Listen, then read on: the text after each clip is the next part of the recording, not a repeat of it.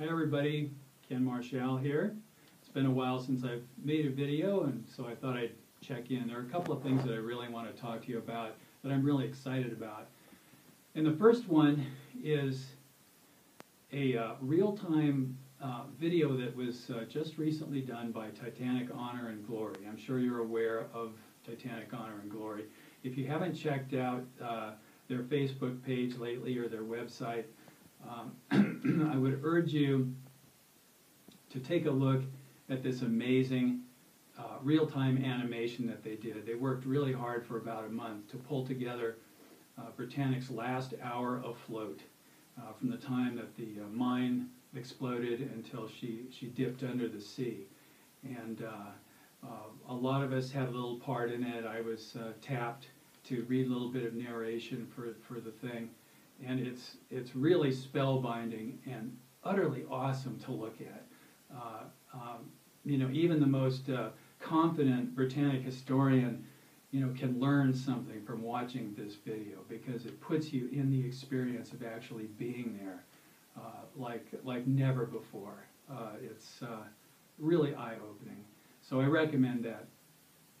Uh, the second thing is TitanicChannel.tv and maybe you're uh, aware of this as well. I, I, know it's been mentioned on uh, this this Facebook page, but uh, I'm really excited about this. Uh, there's nothing like it. There's never been anything like it.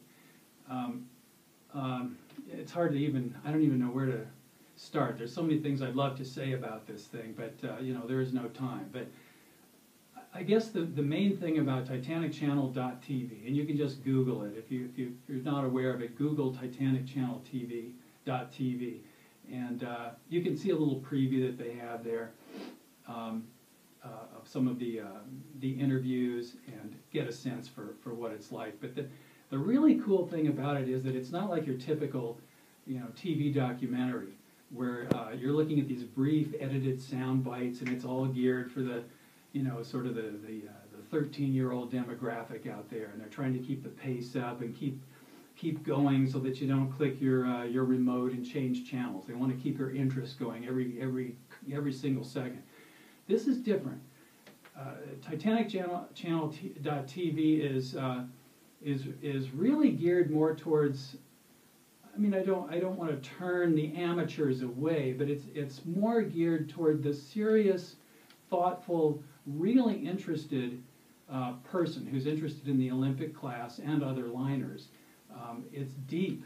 Uh, it's it's uh, there are long segments. The interviews can last anywhere from you know eight minutes to to 12 or 15 minutes long, and it's just a person like myself sitting there um, looking at the camera and telling a story or or reminiscing about something that an experience that we've happened that we've happened. I mean that we've experienced.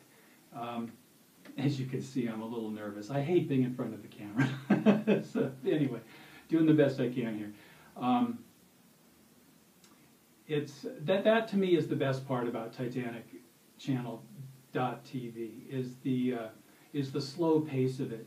The fact that you get the full uh, experience. It allows historians, authorities, experts a chance to really expound on a topic or an experience that they've had.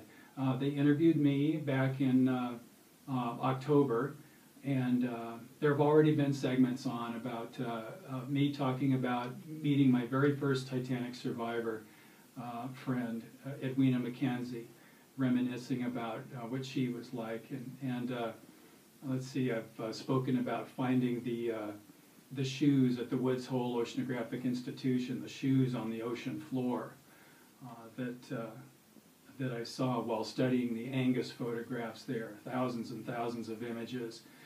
Uh, and then there's going to be upcoming segments that I did about working on the Jim Cameron movie and, and, uh, and others. So uh, it's, it's just really interesting. I mean, you've got uh, just so many knowledgeable, experienced people uh, contributing to this site some of the really stellar names out there in the Titanic world. So um, if you're kind of on the fence about it, I really urge you to go and check out their previews, titanicchannel.tv, see what you think. I think it's an incredible bargain, really. If you get the, the yearly subscription, uh, it's like uh, less than 30 cents a day to, uh, to, to have all of this knowledge right at your fingertips. I've learned so much already just in, in, uh, in watching it for about the last month or six weeks since it, since it premiered. Uh, every single day, there's, there's eye-opening, fascinating information on this, on this thing. So I can't recommend it highly enough.